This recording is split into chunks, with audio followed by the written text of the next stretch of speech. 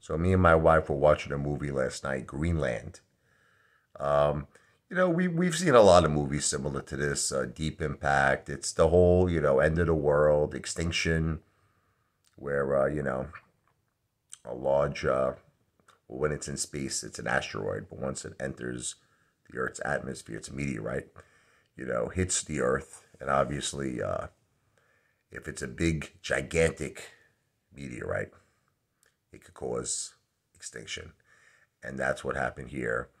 And it's very similar. Look, if you saw Deep Impact, it's the same vibe, the whole same thing, except um, in this particular movie, you didn't see, like in the movie Armageddon with Bruce Willis, you know, they had a plan to uh, take that, you know, obviously meteorite out.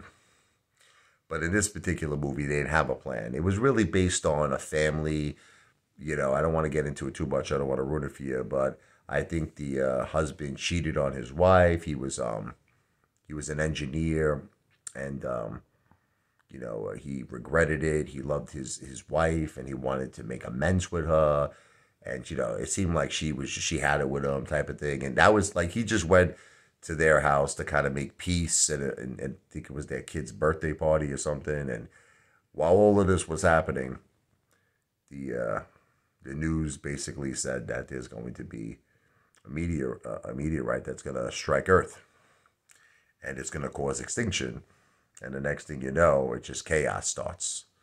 You know, they had they were picked kind of similar like where they have those like arcs, and uh, you know they went down there, but you know everybody went crazy. They wanted to basically uh, take the uh, wristbands off of them. Everybody flipped out. The guy one, one thing led to another. They had to separate because another thing was I think their child had uh, what was it, diabetes, and he wasn't allowed. He wasn't allowed on the ark because anyone who was sick was not allowed. So it just it just got crazy. They wound up getting separated. The mother, you know, couldn't find the husband with the with the child. The husband wound up getting into fights with people. you know, the the mother lost the child, some lunatic, you know, like who gave them a ride. She thought that, that he was a nice person, winded up, you know, throwing the mother out of the car. Chaos. But I don't want to give you too much, but it's a good movie to watch. It's exciting, and uh, we enjoyed it. So, if you want to sit back, put your feet up on your recliner, get a little popcorn. uh, popcorn, right? Anyway, good movie to watch.